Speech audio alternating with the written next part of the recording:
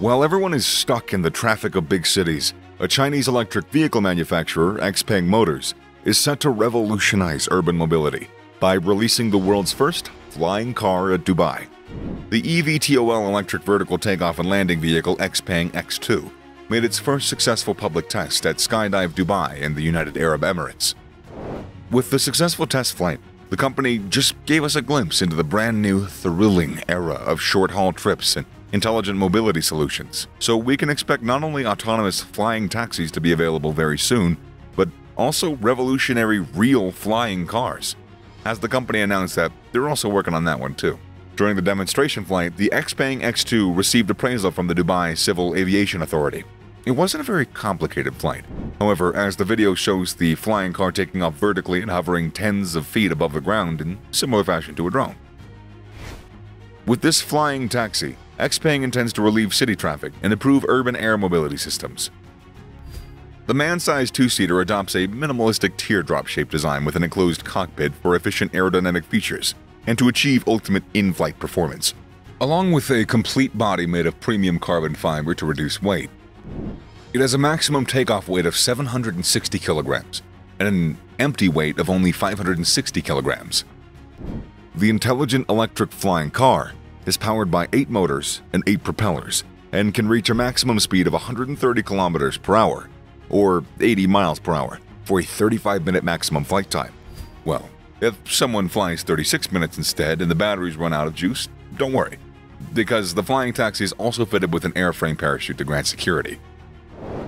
The displayed Xpeng X2 is the fifth generation vertical takeoff and landing vehicle with an autonomous flight capability. But for those more adventurous, a manual mode will be available in future models too.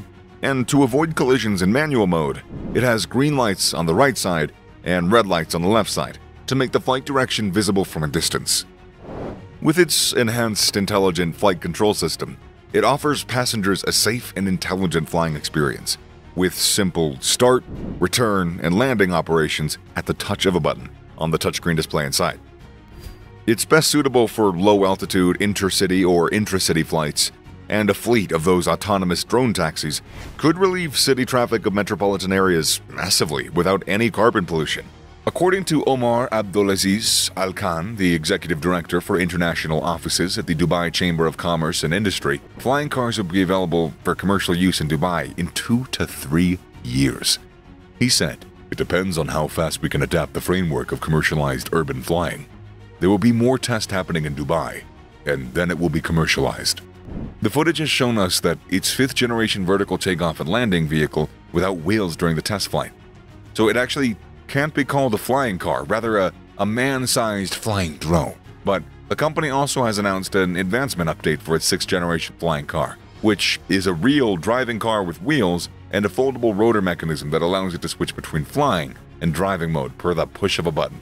The sixth generation flying car is expected to come out in 2024, and this is what it should look like in the future. The Xpeng X3 will become a real flying car, Aero HT even made its first successful test flights of the prototype just one week after the public test flight of the X2, so the development of flying cars is increasingly gaining traction. Brian Gu, vice chairman and president of Xpeng Motors, points out Xpeng X2's public display in Dubai represents a significant milestone for Xpeng Aero HT and the international achievement of flying cars. Dubai is a world renowned city of innovation which is the reason we've decided to hold the X2 first public flight event here. Today's flight is a major step in Xpeng's exploration of future mobility. Aero HT, a majority-owned entity of Xpeng Motors, has conducted over 15,000 test flights safely with the ultimate goal of making the dream of flying cars finally happen.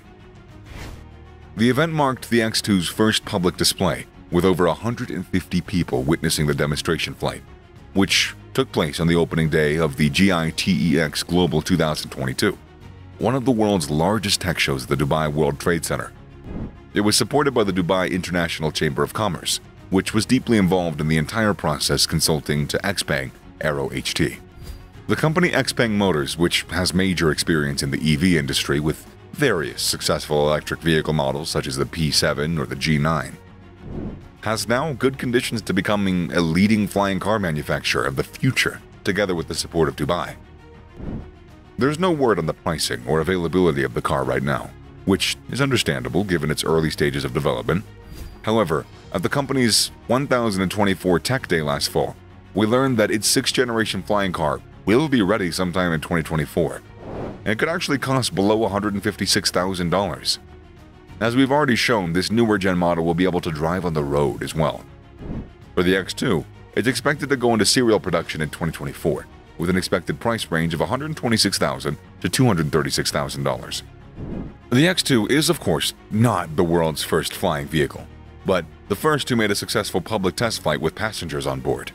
And with rising public interest, it's expected that this technology will also develop further and finally find its transition into our everyday lives. In the Saudi mega project NEOM The Line, which recently made some headlines, there will be no cars allowed, but air taxis like the X2 will be common in the futuristic cities.